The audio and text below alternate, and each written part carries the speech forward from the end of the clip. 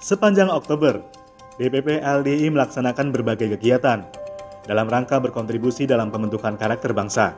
Dalam berbagai kegiatan tersebut, DPP LDI mendapat dukungan dari berbagai pihak, baik dari internal DPW, DPD, PC, PAC, maupun pemerintah ormas lainnya.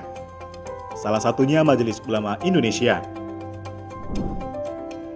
Pada pertengahan Oktober, DPP LDI menerima kunjungan studi banding DPW LDI Banten yang dipimpin oleh Ketua DPW Edwin Sumiroza.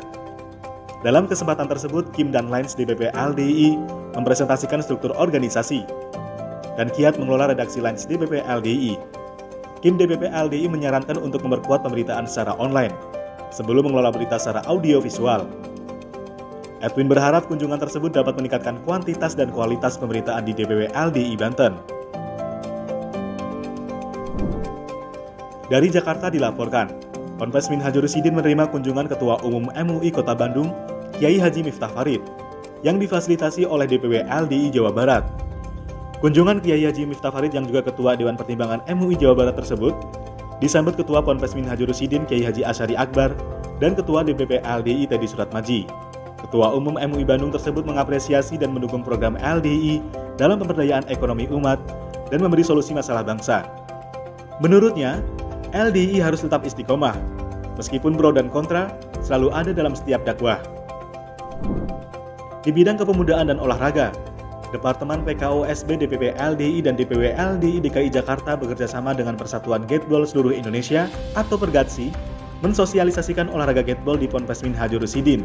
Gateball merupakan olahraga yang populer di Jepang, dan Indonesia membutuhkan banyak atlet untuk olahraga tersebut. Karena umumnya, atlet gateball berusia lanjut, Menurut Ketua Departemen PKOSB DPP LDI, Adityo Handoko, Gateball bisa dimainkan semua usia bahkan lanjut usia. Olahraga ini pada PON 2024 menyediakan 11 medali dan membutuhkan atlet usia muda untuk mengharumkan nama bangsa. Pada kesempatan lain, Departemen Komunikasi, Informasi dan Media atau KIM DPP LDI menggelar rapat koordinasi yang diikuti 34 DPW dan DPD dari 303 titik studio mini Ketua Umum DPP LDI Kiai Haji Kriswanto Santoso mengingatkan pentingnya Kim sebagai etalase organisasi untuk memberitakan kontribusi LDI kepada bangsa, sehingga masyarakat mengetahui kiprah LDI dalam kehidupan berbangsa dan bernegara. Kim mendorong DPW dan DPD LDI membentuk Pokja Kim sesuai dengan ketersediaan sumber daya manusia.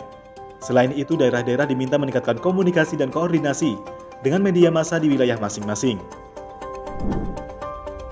Sepekan kemudian Departemen Teknologi Informasi Aplikasi dan Telematika atau TIAT DPP LDI menggelar rapat koordinasi. Acara tersebut juga dibuka oleh Ketua Umum DPP LDI Kiai Haji Kriswanto Santoso. Menurutnya TIAT memiliki peran penting dalam merancang dan membangun fasilitas internet dan website LDI di seluruh Indonesia. Rakor tersebut mensosialisasikan protokol dan etika media sosial, agar media sosial membawa kemaslahatan bersama, bukan sebagai alat memecah belah persatuan. Usai kehadiran tokoh MUI Bandung, Ketua Umum MUI Provinsi Bangka Belitung mengunjungi Ponpes Minhajur Sidin. Dalam kesempatan tersebut, Ketua Umum MUI Bangka Belitung Kiai Haji Zayadi mengapresiasi langkah LDI dalam membina umat dan menyikapi globalisasi. Menurutnya, LDI telah memberi solusi berbagai persoalan bangsa, bahkan turut membina pemberdayaan masyarakat di sekitar pondok pesantren.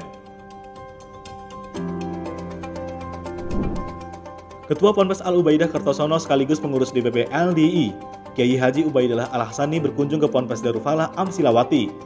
Ponpes tersebut dikenal memiliki metode belajar Nahu Sorof yang disebut sebagai Amsilawati. Rencananya, metode tersebut akan diadopsi oleh pesantren Al Ubaidah Kertosono untuk diajarkan kepada para santri.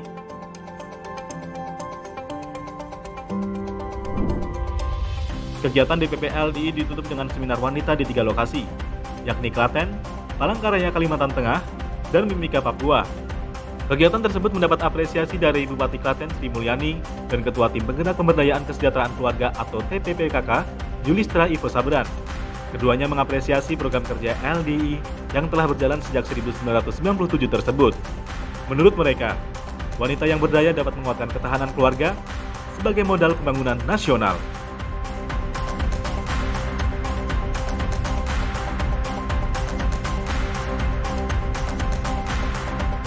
Klik like jika menyukai video ini. dan subscribe untuk mendapatkan berita terbaru dari LDII TV. Alhamdulillahi jazakumullahu khairah telah menonton.